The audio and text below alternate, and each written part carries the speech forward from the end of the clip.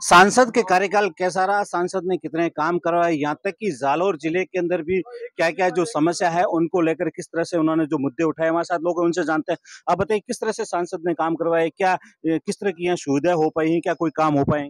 जालोर के अंदर तो हमेशा सौतला व्यवहार हुआ। सांसद ने सिरोही बेल्ट में काम करवाया होगा, मगर जालोर के अंदर कोई काम नहीं करा। ना मेडिकल कॉलेज के पत्ते हैं, ना रोड की कोई कनेक्टिविटी है। और स्थिति देखे जाए तो मैं जिस बस में बैठा हूँ, ये जयपुर चलने वाली बस है। मगर आज तक जालोर में नई बसें नहीं आ रही, खटाला बसें चल रही है। लोग सफ़र कैसे करेंगे? सांसद को पूरा ही जालोर की तरफ़ तो सौतला व्यवहार ही रहा है और कई कई कई काम ने दिखा हमें तो। और भी लोग हैं, उनसे भी जानते हैं किस तरह से सांसद जैसे काम हुए हैं, क्या हुए एक्चुअली क्या नए सांसद अगर उनसे उम्मीद क्या रहती है, अपेक्षा क्या रहती है? देखिए, अभी हम उम्मीद रखते हैं कि जो यहाँ कोई युवा सांसद बने, और दूसरा सबसे बड़ी समस्या यहाँ हॉस्पिटल की है। अगर सर्दी जुकाम तक तो ठीक है, और उससे अगर आगे ज़्यादा अगर कोई तकलीफ़ हो, एक्सीडेंट हो जाए, वगैरह हो जाए तो सीधा कहते हैं कि आप आगे ले जाओ। मैं धन्यवाद उन आगे वालों को देना चाहता हूँ, जहाँ पे ये सुविधा है और अब हमारे यहाँ अभी भी ये सुविधाएँ नहीं है। हॉस्पिटल की तो ऐसा हॉस्पिटल होना चाहिए, जहाँ हर बीमारी का इलाज हो।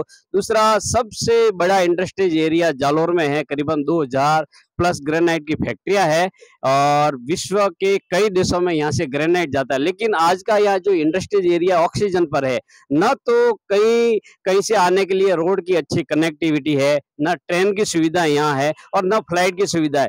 जब ये तीनों सुविधाएँ बढ़िया होगी तो ग्रेनाइट इंडस्ट्रीज़ एरिया भी उठेगा और यहाँ विकास भी होगा।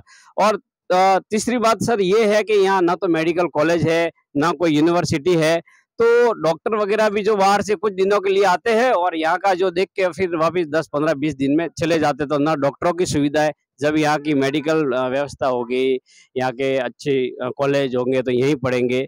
तो इस प्रकार की हम उम्मीद रखते हैं कि ये सारे काम हो। और भी लोग उनसे भी जानते हैं आप बताइए किस तरह की व्यवस्था रही, क्या कोई सुविधा हो पाई या अभी भी जैसी कोई समस्या, दिक्कत बनी हुई है? समस्या तो बहुत है और यहाँ कोई सुविधा नहीं है रोड की, बस की ये देखो, बस टूटी हुई है। मतलब जाने वाला प्रेशर इतना होता है कि रास्ते में रुकना पड़ता है बस को।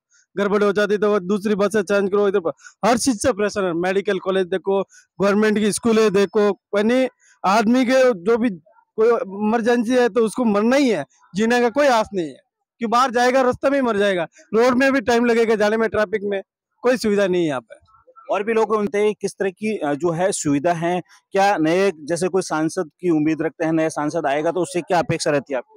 सर, ऐसा है कि जो भी मान लो आएँगे तो विकास में तो ध्यान देते नहीं, अभी ये बस स्टैंड है तो पूरा भंगार पड़ा है और ना यहाँ साफ़ सफ़ाई है, गंदगी फैल रही है दिनों दिन और कोई भी बस की सुविधा है ही नहीं होगा, और बस पूरा बस पूरा टूट गया है, ऐसा तो कोई रोड वोड सब टूट गई है तो वो बस की, मान लो कोई सुविधा नहीं होगा आ, लोगों का साफ़ तौर पर यही कहना है कि जिस तरह से सुविधा होनी चाहिए बसों के अंदर वैस, वैसी जो है जालोर ज़िले के अंदर नहीं है। दूसरी दिक्कतें यहाँ पे भी ये भी बनी हुई है कि, कि यहाँ बहुत सारी समस्या है। उनको लेकर भी जो सांसद महोदय के द्वारा उस पर ध्यान नहीं दिया गया है। यहाँ तक कि सिरोही की अगर बात की जाए सिरोही के अंदर जो है यूनिवर्सिटी भी है मेडिकल कॉलेज भी है जालोर के अंदर कुछ भी नहीं है।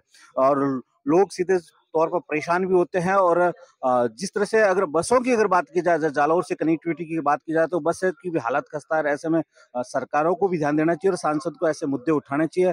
हमारे साथ और भी लोग हैं, उनसे भी जानते हैं कि किस तरह की जो है समस्या बनी रहती है लोगों के अंदर। और भी लोग उनसे भी जानते हैं।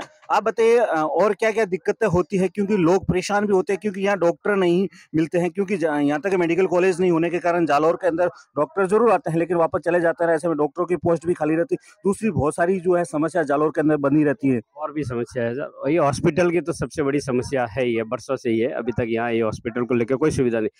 दूसरा, सर ये जालोर, आहोर और यहाँ के बेल्ट के लिए जवाई बाँध का पानी ये सबसे ज़रूरी है। किसान बरसों से मांग उठा रहे हैं।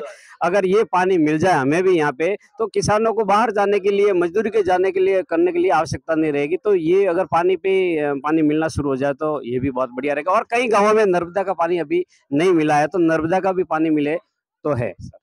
और भी लोग हैं। सर, आप बताइए, यहाँ किस तरह की समस्या बनी रहती है?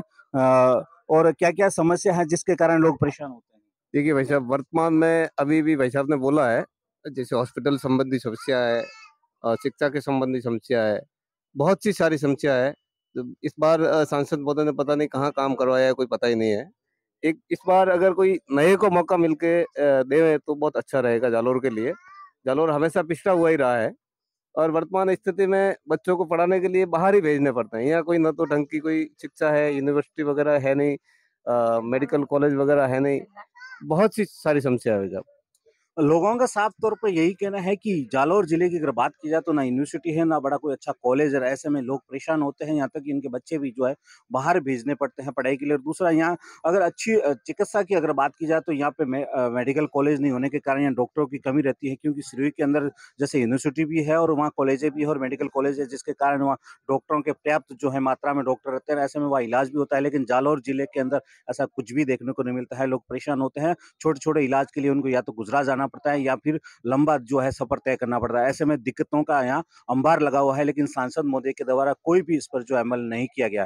कैमरा पर्सन के साथ मफतलाल, इंडिया न्यूज़, जालौर।